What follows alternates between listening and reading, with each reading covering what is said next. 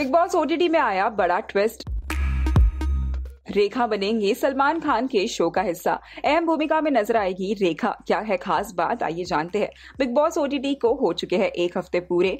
जहाँ कुछ ही हफ्तों में अब ये सभी कंटेस्टेंट्स बिग बॉस के मेन घर को ज्वाइन करते हुए भी आएँगे नज़र। अब आखिरकार कौन होगा ये कंटेस्टेंट इसका इंतज़ार तो ज़रूर रहेगा। वहीं जहाँ बिग बॉस ओटीटी को होस्ट करते हुए नज़र आ रहे हैं करण जौहर, वहीं बिग बॉस के मेन घर को, यानी कि जो टीवी पर टेलीकास्ट होने वाला है, उसे करने वाले हैं सलमान खान होस्ट लेकिन सलमान खान के साथ एक और खास मेहमान जुड़ते हुए आएँगे नज़र, जो कि कोई और नहीं बल्कि है रेखा। रेखा सलमान खान के बिग बॉस 15 में निभाएँगी एक अहम भूमिका, जहाँ पर ये सभी कंटेस्टेंट्स के फॉर्चून को करेंगी डिसाइड जी हाँ रेखा इन सभी कंटेस्टेंट्स के लिए बनने वाली है द फॉर्चून ट्री जो सलमान खान को बताएँगे इन सभी कंटेस्टेंट्स की खूबियाँ और खामियाँ। जिसे सलमान खान करेंगे डिसाइड कि आखिरकार इस कंटेस्टेंट को बिग बॉस 15 के मेन घर का हिस्सा बनना चाहिए या नहीं। वेल अगर सोर्सेज की माने तो रेखा ने अपने वॉइस ओवर को कर लिया है रिकॉर्ड जो कि जल्द होगा ऑन एयर वेल ये एक फॉर्चून ट्री तो होने वाला है, काफ़ी ज़्यादा इंटरेस्टिंग इसी के साथ साथ वहीं अगर बिग बॉस ओटीटी के थीम की बात करें तो बिग बॉस ओटीटी का थीम है स्टे कनेक्टेड जहाँ इन सभी ने जोड़ियों की तरह लिए थे बिग बॉस के घर के अंदर एंट्री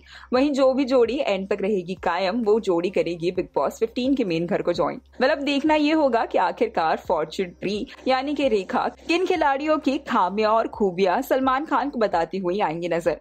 वेल आप कितने एक्साइटेड है बिग बॉस के इस नए फॉर्मेट से? और रेखा के फॉर्चून ट्री को देखने के लिए हमें कॉमेंट कर ज़रूर बताए। टेलीविज़न की लेटेस्ट न्यूज़ और गॉसिप के लिए हमारे चैनल को सब्सक्राइब ज़रूर करें।